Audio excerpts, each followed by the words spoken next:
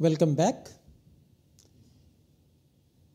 Now time has come that we start discussing different contributions to molecular partition function. Having connected canonical partition function with almost all thermodynamic quantities, now we will start appreciating how these canonical partition functions take up the shape once different contributions from the different degrees of freedom of the molecule start coming in. So, therefore, in this lecture we will now talk about the molecular partition function and the different contributions which affect the value of molecular partition function. Different modes of motion make contributions to the energy of a molecule. What is the meaning of this statement? So far we have been talking about monatomic systems and we have been discussing that monatomic gas for example, gas consisting of single atoms. The constituent atoms will have translational degree of freedom and will have electronic degree of freedom. And we have several times discussed that the electronic contribution under normal conditions these are very less usually equal to degeneracy of the ground state. And the major contribution comes from translational part. If it is a diatomic molecule, now the molecule can rotate, the molecule can vibrate. Therefore, the rotational contribution can also come in, vibrational contrib contribution can also come in. Therefore, the comment says different modes of motion make contributions to the energy of a molecule as follows. For any jth state, the energy of a molecule is equal to the energy of the molecule in the same state due to translational contribution, the energy in the jth state due to rotational contribution, energy due to vibrational contribution, energy due to electronic contribution and if there is any type other type of contribution that can also be accounted for. And we also know that the molecular partition function is defined as summation j exponential minus beta E j. Okay. Let us substitute now. That means, now q is equal to summation j exponential minus beta and I will have E j translational plus E j rotational plus E j vibrational plus E j electronic. Right. So, translational, rotational, vibrational, electronic. Summation for all over these states. I can separate this summation for individual contributions. Mathematically, this is permitted. So, that means I have j I can sum over all translational state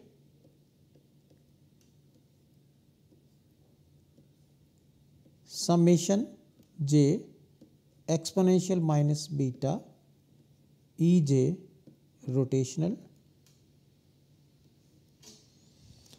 Then I have summation j exponential minus beta e j vibrational. Let us include the last contribution also. Here summation j exponential minus beta E j electronic. And now recognize each one. First one is Qt, second one is QR, third one is QV, and fourth one is Q E. The overall molecular partition function is equal to translational contribution to molecular partition function multiplied by rotational contribution to molecular partition function multiplied by vibrational contribution to molecular partition function multiplied by electronic contribution to molecular partition function. I want you to pay attention to energy expression and the molecular partition function expression. Energy is additive due to all contributions. Molecular partition function is multiplicative a very important point to be noted. When you write energies, this is addition of translational, rotational, vibrational, electronic.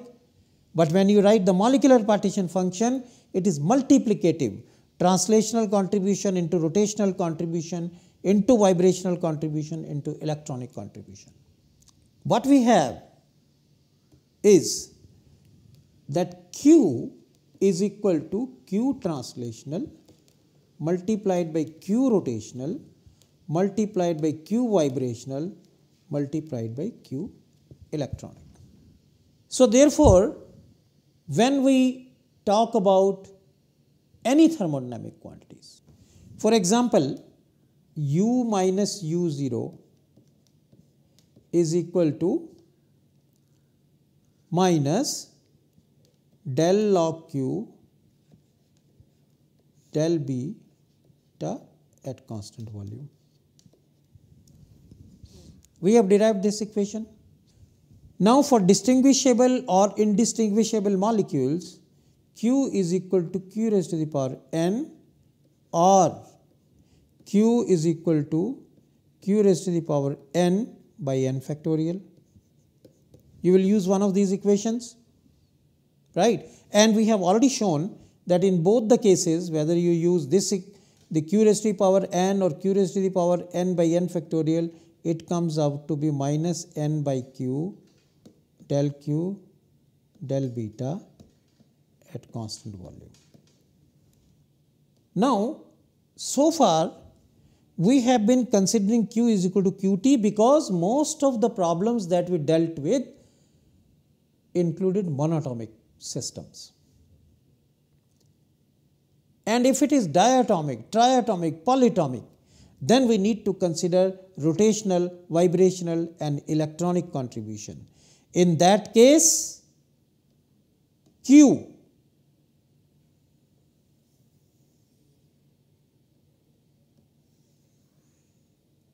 will have to be multiplication of the molecular partition function which are translational, rotational, vibrational on electron. Similarly, when you talk about entropy or you talk about Gibbs function or Helmholtz function or enthalpy, you will have to first analyze whether the system involves translational contribution only or the system involves other contributions also. Now, monatomic for example, I will just take helium gas, argon gas. Diatomic, I will take iodine, hydrogen, bromine, O3, H2O, and then multi-atomic. There can be many examples. Let us say CH3, CH3. So, when you are dealing with such systems, you need to make a careful choice when you connect when you connect Q with Q. Right? Here if you are dealing with a monatomic that is helium argon then only the translational contributions will come in. That means, here you will mostly worry about translational and of course, electronic. We already discussed that electronic contribution is very small. When it is diatomic, now you will have translational, you have rotational, you have vibrational, you have electronic. Triatomic, translational, rotational, vibrational, electronic. Multiatomic, translational, rotational, vibrational and electronic. And you also need to make a choice of whether the connection of Q to Q involves a 1 by n factorial factor or not. Translational contribution to partition function. We have derived the expression earlier when we talked about the movement of a particle, the movement of a molecule or atom in one dimension. And remember that at that time we derived this expression qx is equal to 2 pi m over beta h square square root into x where x is the length of the container, length of one dimensional container. In this expression, m is the mass of one particle, one particle. As discussed earlier, if it is hydrogen, let us say H2, then it is going to be 2 divided by Avogadro constant and you convert into kilogram. H is Planck's constant, beta is expressed in terms of temperature which is equal to 1 by kT. When we derived this, qx is equal to 2 pi m over beta h square square root, you can write into x, you can write this is equal to x by lambda, where lambda which is equal to thermal wavelength because its units are in terms of length. Thermal wavelength which has the form beta over 2 pi m square root into h or beta h square over 2 pi m or h over square root 2 pi m kt, any of the form. And we already talked that lambda has dimensions of the length. So, qx was written as x divided by lambda. We had this expression by using which the molecular partition function for a particle, for an atom, for a molecule can be obtained which is free to move in one dimensional container of a specified length. We then also discussed the translational partition function of a particle which is free to move in two dimensions. Two dimension means the container will have two lengths x and y where x and y can be different or x and y can be equal. If x is equal to y then it becomes a square. So, in that case, the partition function qxy will be equal to 2 pi m over beta h square square root where x into x and y which is equal to xy over lambda square right? And this term will actually come twice. xy over lambda square where lambda what is the meaning of lambda we have already discussed and the meaning of this m h and beta are usual so if you are now considering that a particle is free to move only on a surface, only on the surface, two dimensional surface. And the surface can have different values of the lengths that is edges x and y or it can be having same value if x is equal to y it becomes area. So, in that case if x is equal to y then this has to be square and x y. If x is equal to y, then you can use area, area of the surface. That means if you were to deal with a particle, a molecule which is free to move only on the surface, then qx is equal to area divided by lambda square. And now if you then move into 3 dimension, then in that case, then this has to come 3 times and you have x, y, z that means x, y, z divided by lambda cube x, y, z is equal to volume divided by lambda cube where lambda is thermal wavelength and the value of thermal wavelength can be calculated from the knowledge of mass of the particle and from the knowledge of temperature. This is translational contribution. Translational contribution which we write as Qt is equal to V upon lambda cube depends upon the volume depends upon lambda. That means if the volume of the container is large, then the value of translational contribution to partition function is also going to be large.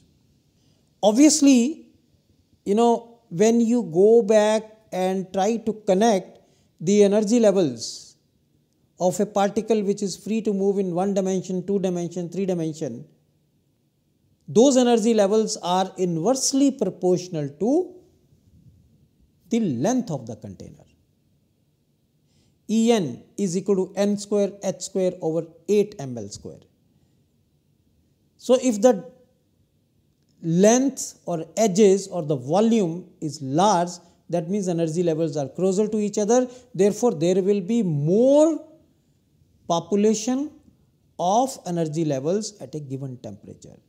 At a given temperature there will be more thermally accessible states and that is why when you are talking about a particle which is free to move in one dimension, which is free to move in two dimension or which is free to move in three dimension.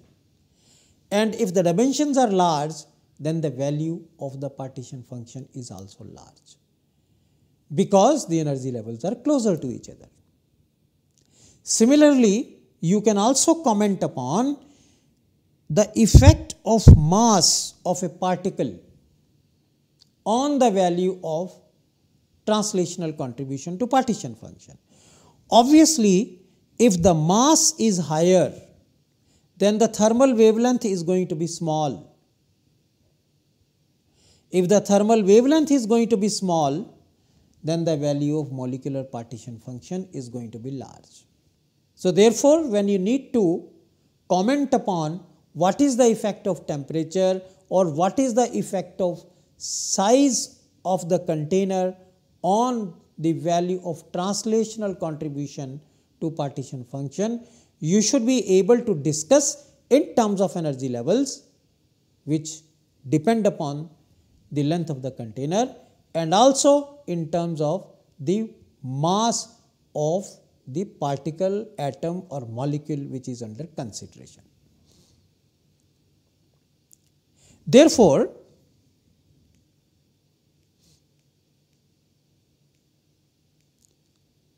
When I talk about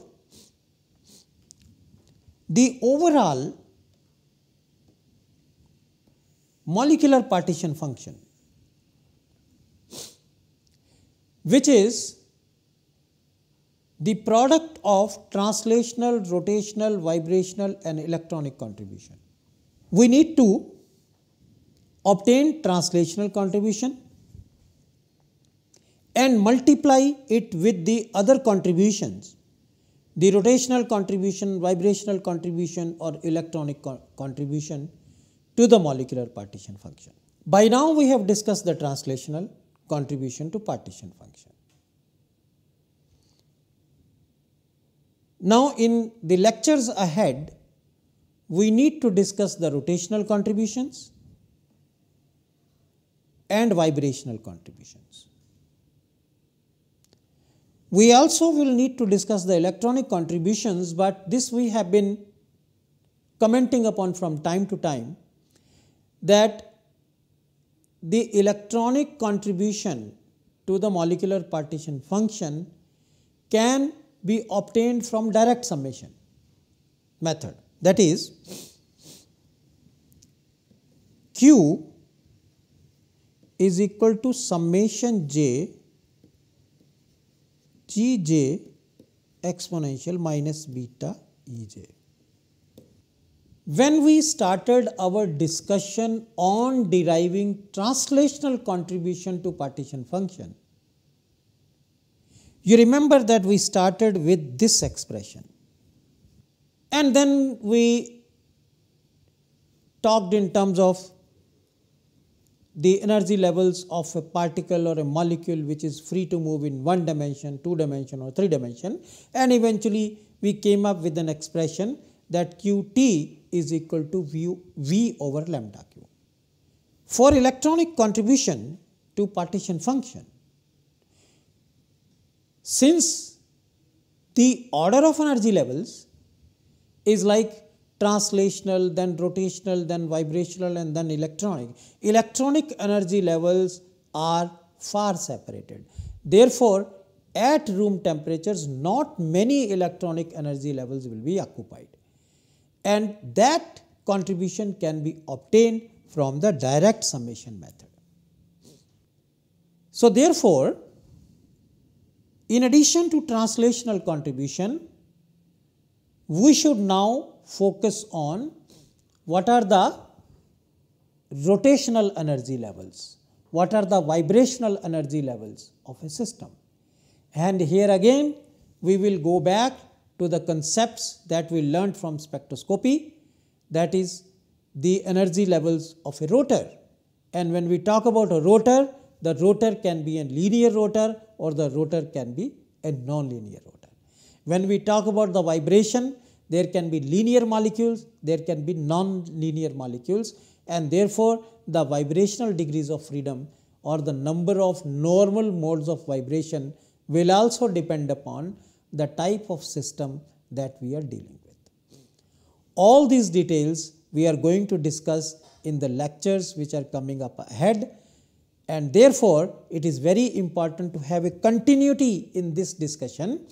That is after having discussed translational contribution, now we will discuss the rotational contribution starting from the discussion on their energy levels, but that we will discuss in the next lecture.